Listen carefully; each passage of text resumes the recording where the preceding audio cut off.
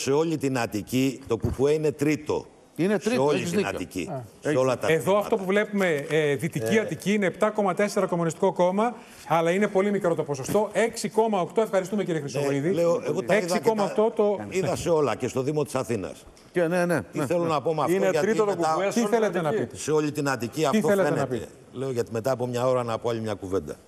Λοιπόν, ε, αν όλα πάνε καλά και θα πάνε από ό,τι φαίνεται, έχουμε μια καλή άνοδο.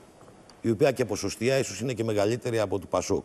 Λέω ποσοστία σε σχέση με το 5,3 που είχαμε.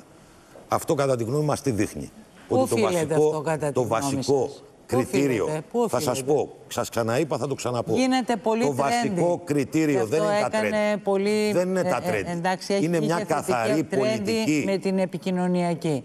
Πέρα από Ε, αυτό, Δημήτρης κυρία Τρέμι, Κουτσούμπας, η καθαρή, viral η στο καθαρή διαδίκτυο. πολιτική Άρα, γραμμή του ΚΚΕ. Να μην δείξουμε καμιά ανοχή σε μια κυβέρνηση Αυτό είναι μόνο. η οποία, η οποία μπορεί να, να διαμορφωθεί με βάση Από πού πήρατε προγραμματικές ψήφους, κύριε- συγκλήσεις. κύριε Σοφιανέ, πιστεύετε; Μεγάλο Από πού κομμάτι πήρατε; από το συνασπισμό. Από το συνασπισμό από, πήρατε. το- από το θεωρείτε. ΣΥΡΙΖΑ, με Συνασπισμό, συγχωρείτε. από το ΣΥΡΙΖα. Από το Θεωρείτε ΣΥΡΙΖα. δυσαρεστή- Γιατί Ναι, είναι ναι, ο κόσμος, προκύπτει, προκύπτει, είναι ο πιστεύω κόσμος εγώ. που κάνει το βήμα, που κατάλαβε, τον είδε και σαν αντιπολίτευση. Στήριξαν τα μισά Ε, νομοσχέδια του τέλος Μητσοτάκη. πάντων, Δεν τον έπεισε ο Το ΣΥΡΙΖΑ. Πασόκ στήριξε το 70% των νομοσχεδίων. Ευχαριστώ του πολύ. Μητσοτάκη. Ε, κυρία- Αυτή είναι η προγραμματική βάση.